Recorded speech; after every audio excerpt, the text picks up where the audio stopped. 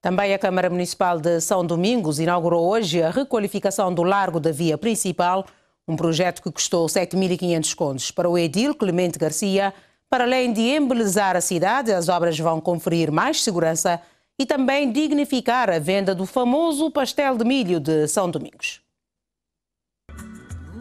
A requalificação do largo da via principal de São Domingos, ora inaugurada, para além de trazer uma outra imagem ao município, vai dignificar a venda do pastel de milho, que já é uma marca da cidade. A Câmara Local tem apostado fortemente no turismo e este projeto, que custou 7.500 contos, vem na sequência deste desidrato. O pastel de milho ali em São Domingos é a única marca ali em São Domingos, então tem uma reivindicação nesse sentido, para dignifica nos vender pastel e também não fazer o telegrafo. Nesse caso, requalifica a zona, dignifica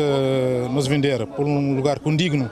que se vende esse pastel, onde a pessoa se benta, xinda, te relaxa, mas também ter se um outro grande problema que tem no município, que é a questão de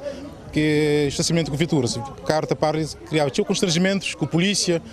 tinha multa ali, então no cabo tem que resolver violência, então é um ganho enorme ali para, para nos municípios. Aos poucos, as vendedeiras vão ocupar estes espaços e a Câmara garante que vai proibir a venda deste produto nas ruas, uma medida apoiada pelas mesmas. A gente tem que cantar, não está fazendo aquele pastel, tem um monte de cliente, está fazendo na meia de rua, é uma coisa bem feita, é uma coisa limpa, mas agora aí está fica muito mais bem feito, muito mais higiênico, muito mais limpo e está trazendo mais que o cliente e te protege, tem saúde para morar dentro de casa, lá que tem entra terra, que tem entra lixo, que tem entra nada, nem vento, nem nada. Aquele paragem é obrigatório, agora se coisa fica mais obrigatório ainda. Com a conferência, por isso não está passando as mensagens, então com pedagogia para pessoas e,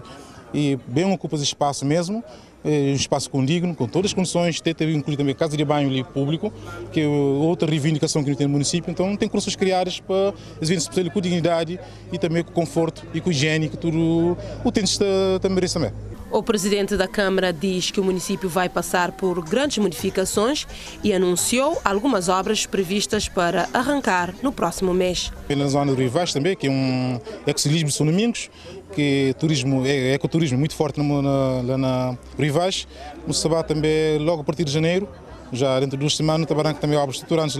que também engloba também 12 Valência, lazer de desporto, aquele zona de Corolinho, também financiar o Fundo de Turismo e também no Sabairo qualifica a zona rival, a construção de miradores, então não se, dá, não se trabalha grandes projetos que têm o muro de completamente. Então ronda também mais de 10 mil contos, só, só na Rivais. E no âmbito das festividades de Natal, a Câmara Municipal de São Domingos realizou hoje também um almoço de confraternização com os idosos e está a decorrer na Praça da Cidade uma feira de plantas e artesanatos.